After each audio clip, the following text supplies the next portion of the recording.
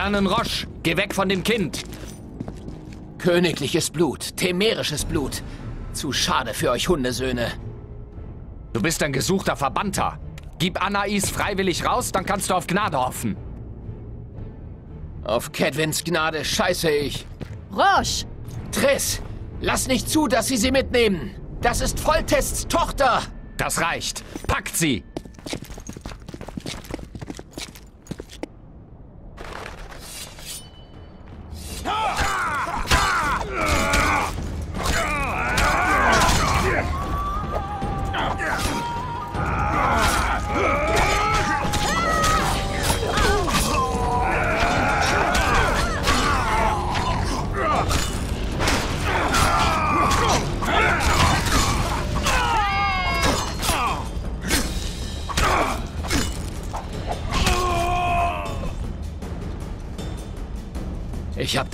Nicht erwischt.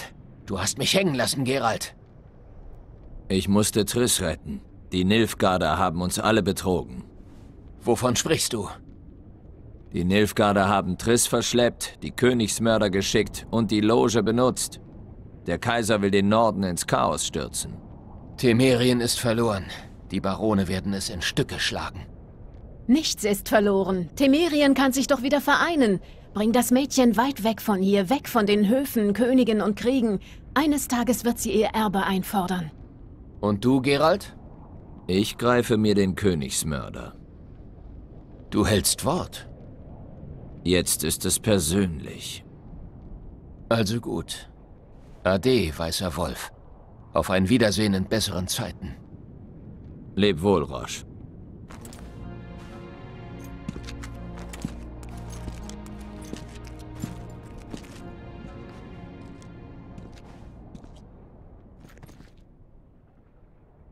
Was ist mit Jorvet? Man hat das Kopfgeld auf ihn erhöht.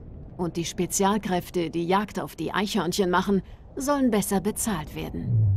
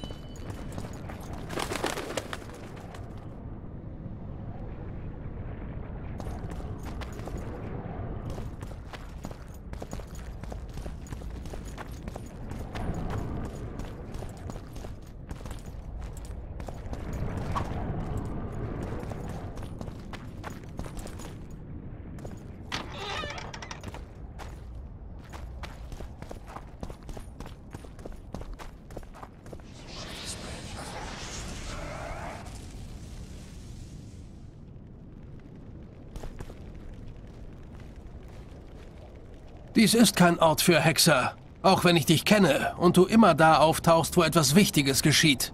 Wahr, wenn auch bisweilen zufällig. Und diesmal auch Zufall? Sagen wir, ich muss mich um etwas kümmern.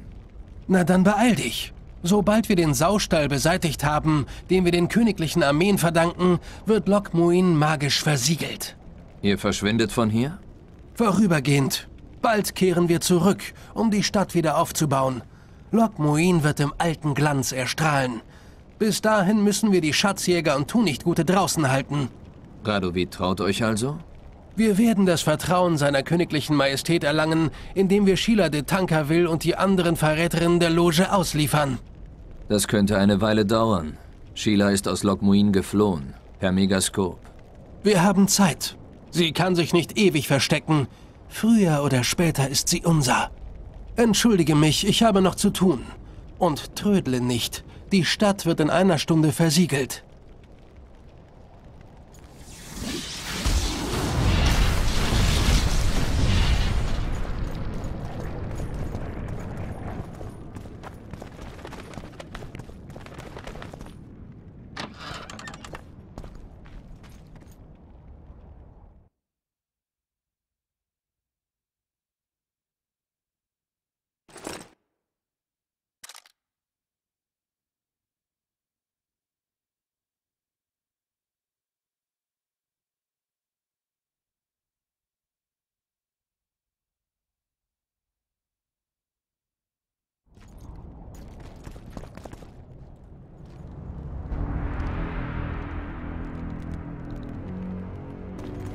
Da ist er ja. Warte hier auf mich. Gerald, Das ist eine Sache zwischen ihm und mir. das musst du nicht tun. Doch, er weiß, was mit meinem Gedächtnis passiert ist. Warte beim Stadttor auf mich. Wenn ich nicht binnen einer Stunde zurück bin, gehst du ohne mich los.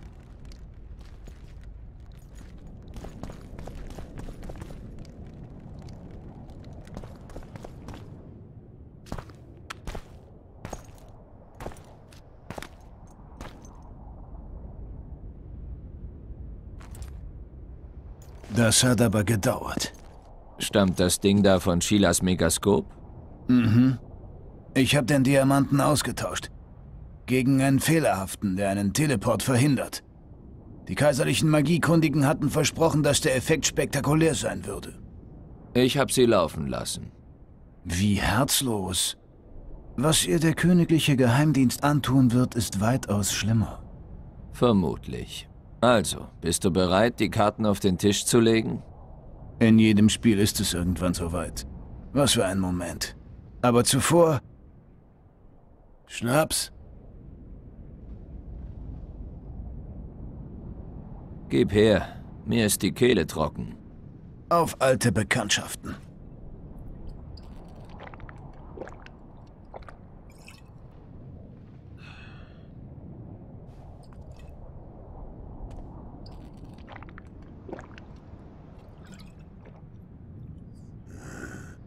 Hast du dein Gedächtnis wieder? Nicht vollständig. Erinnerst du dich an unsere erste Begegnung? Ich hab dir das Leben gerettet. Und wie dankst du's mir? Wie hätte ich es dir denn besser danken können? Ich habe mich um deine Frau gekümmert. Jennifer. Keine Ahnung zwar, was du an ihr findest, aber über Geschmack lässt sich ja nicht streiten. Wintersonnenwende 1270. Die magische Nacht. Leto hat nicht gelogen, die Jagd hält an.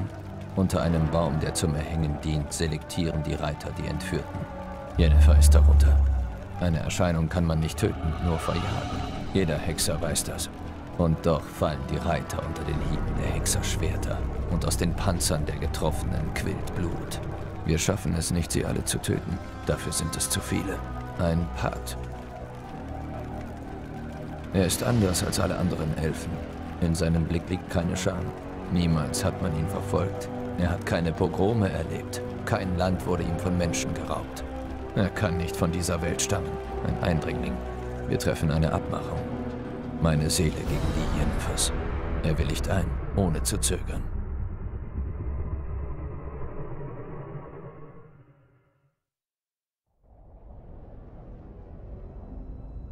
Wieder da? Einen Augenblick sah es aus, als wärst du weit weg. Erinnerung. Eine ganze Welle. Der Baum der Erhängten. Die wilde Jagd. Sie haben mich statt Jennifer mitgenommen. Dann ist es jetzt an der Zeit, Klartext zu reden. Sofern du mich nur gejagt hast, um mich zu töten,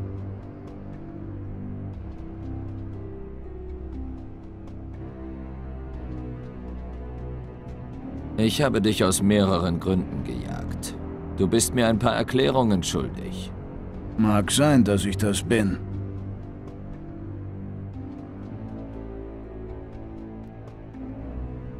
erzähl mir von Jennifer. Und was nach meinem Abgang passiert ist. Sie hatte ein paar Tage hohes Fieber. Wir dachten schon, sie schafft es nicht. Dann kam sie zu sich. Aber sie war verwirrt. Ihr Gedächtnis war weg. Genau wie deins. Und weiter? Sehr schnell kam ihr sperriger Charakter durch. Sie hat uns ganz schön zugesetzt, Egan verführt und versucht, Keile zwischen uns zu treiben. Da du dich für sie geopfert hattest, konnten wir sie schlecht im Stich lassen. Sie hätte ja keine vier Wochen durchgehalten.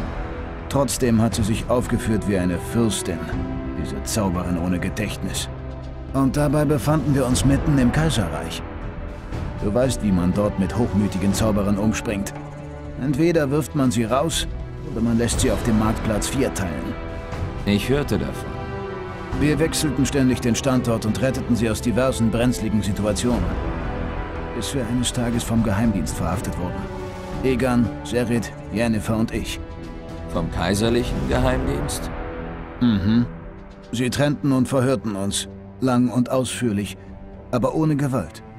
Ich lernte Fatir de Rideau kennen und einige Wochen später den Kaiser in Person.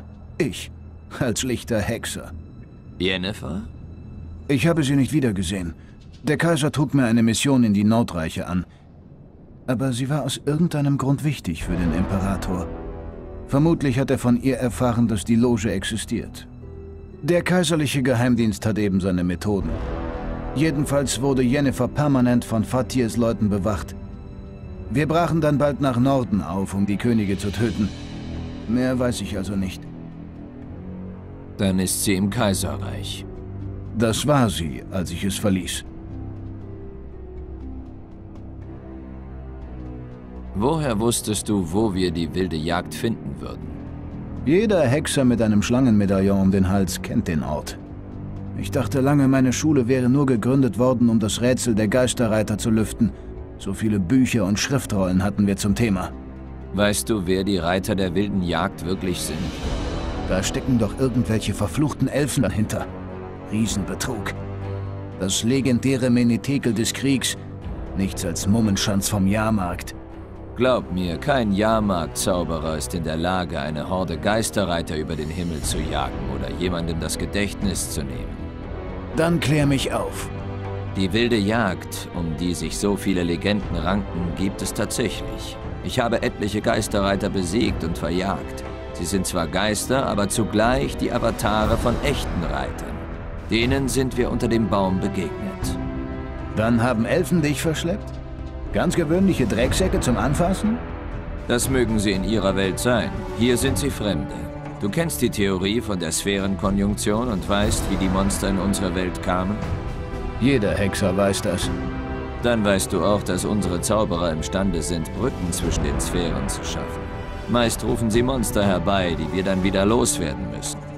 Diese Elfen, die wir gesehen haben, stammen aus einer anderen Welt. Sie wurden allerdings nicht gerufen, sondern kamen selbst hierher.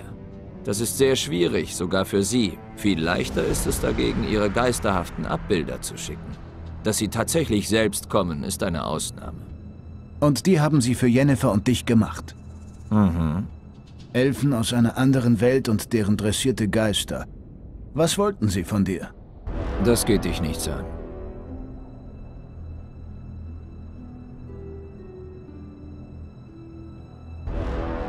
Warum arbeitest du für Nilfgaard? Ich arbeite für den Kaiser, Gerald. Das ist kein gewöhnlicher Mensch. Kein Herrscher des Nordens kann ihm das Wasser reichen. Aber warum? Er will die Schlangenschule wieder aufbauen. Den Hexerorden, der mich ausgebildet hat. Die Hexerschulen im Süden sind vor langer Zeit untergegangen und die Hexer waren Geächtete, die man in die meisten Städte nicht hineinließ. Außer Egan und Seret gibt es noch zwei Hexer von der Schlangenschule. Ich habe sie seit Jahren nicht gesehen und weiß nicht, wo sie sind. Jetzt brauchen sie sich nicht mehr zu verstecken und können nach Hause zurückkehren. Worum ging es denn nun eigentlich? Darum, die nördlichen Herrscher zu töten. Den Zauberinnen die Schuld zu geben, Chaos zu stiften, den Norden auf die Invasion vorzubereiten. Und weißt du was? Es lief wie am Schnürchen. Krieg oder nicht, Zauberer und Könige werden sich noch lange beschuldigen und bekämpfen, und aneinander rächen. Der Norden ist ein brennendes Bordell, wie dein Freund Rittersporn zu sagen pflegt.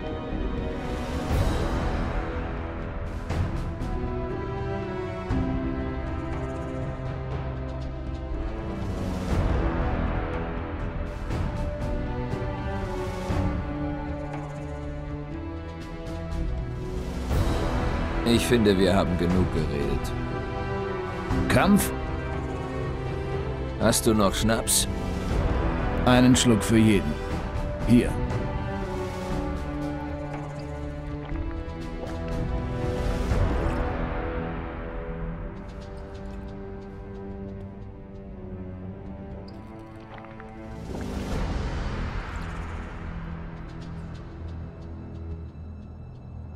Die Armeen des Kaisers überqueren vermutlich eben die Yaruga. Das ist das Ende des Nordens. Höchste Zeit nach Süden aufzubrechen. Da wartet ein schönes Leben auf mich. Du bist ein Narr, Leto. Der Kaiser und du, ihr habt eines nicht bedacht. Unglück schweißt zusammen. Dank eurer Taten dürfte der Norden schon bald einiger sein als je zuvor. Aber was geht mich das an? Ich bin nicht dein Feind. Ich war es auch nicht. Lass mich gehen und du siehst mich nie wieder. Falls du nicht sehr weit nach Süden reist. Zwingst du mich aber zum Kampf, werde ich dich diesmal töten.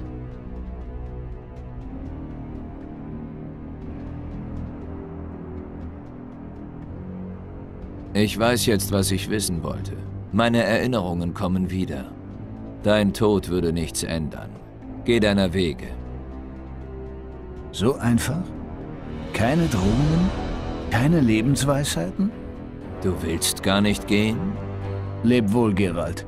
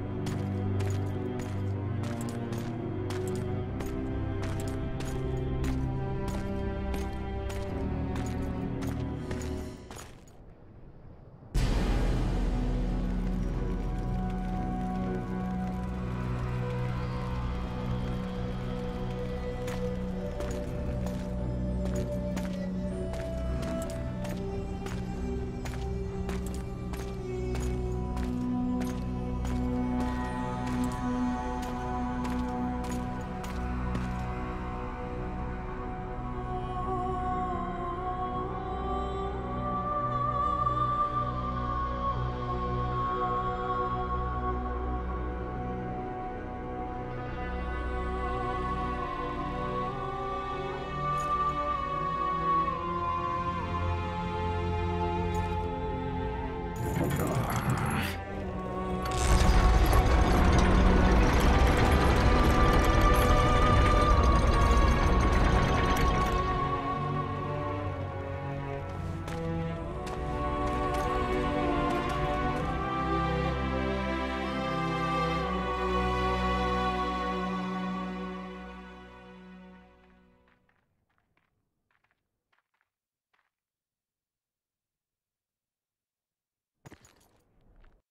Der Hexer war auf der Suche nach den Königsmördern weit durch die Lande gezogen. In Flotsam erschlug er Bernhard Loredo und nur wenige betrauerten den Kommandanten. Flotsam blieb timerisch und das Kommando über Garnison und Stadt erhielt ein Edler aus Wysima, eingefleischter Feind Kedwins und leidenschaftlicher Angler. Noch heute erzählt man sich in Bindegarn am Lagerfeuer Geschichten von den Taten des Hexers. Der Hexer wurde in Edirn Zeuge eines großen Siegs für Kedwin. Bei Vergen schlug Hensels Armee die bunten Horden von Saskia der Drachentöterin vernichtend und beendete so den Frühling der Rassen. Die Soldaten vom Einhorn schwärmten in das gesamte Pontatal aus. Nicht zum ersten Mal wurde Oberedirn vom mächtigen Kedwin komplett geschluckt. Doch die späteren Ereignisse sollten Hensels Triumph ein schnelles Ende bereiten. Nach Voltests Tod begannen Temeriens Nachbarn nach dem funkelnden Schatz nebenan zu trachten, dem temerischen Thron. Doch die Morde an Demavent und Henselt zwangen sie, sich mit ihren eigenen Problemen zu befassen, und Temerien fiel seinen machthungrigen Baronen zum Opfer. Vernon Roche hütete indessen eine letzte Flamme der Hoffnung für das sterbende Königreich. Er hielt sie sicher versteckt und wartete auf bessere Zeiten. Jahre zuvor war Gerald von Riva Zeuge des Falls von Rat und Kammer der Zauberer geworden. Der Gipfel in Lokmuin führte beide Institutionen wieder ein. Wobei die Gründer Sheila de Tankerville und ihre Komplizinnen opferten. Doch Radovid verlangte obendrein Demut und Loyalität von den stolzen Magiern. Und das passte durchaus nicht allen. Es war eine Zeit der Verwirrung und der Gewalt, gekleidet in königliche Dekrete. Doch so schlimm die Tage schienen, sie waren für uns, die wir gewissermaßen am Schicksal der Welt mitgewirkt hatten, doch eine Ruhepause.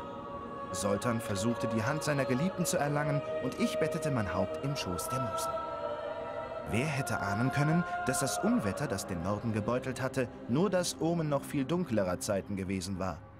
Und zugleich die Präambel einer ganz neuen Geschichte von Gerald von Riva.